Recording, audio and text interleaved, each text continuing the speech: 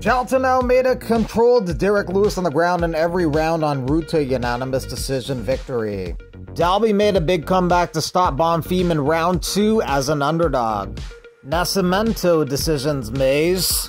Borralho decisions Magomedov. Elves Brener gets the first round KO. Fakhretdinov versus Dos Santos ends in a majority draw.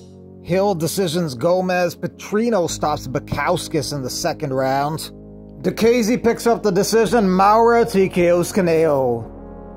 This could be the main event for UFC 297, which is much better than Pennington versus Silva. Mark Zuckerberg tore his ACL training for an MMA fight. He did not say who he was going to face. Book a new fight is the way Johnny Walker gets rid of the bad taste from his recent fight. Official poster for Tsarukyan versus Dariush. Tsarukyan's a slight favorite in that one, and a new movie coming out this month about Anderson Silva.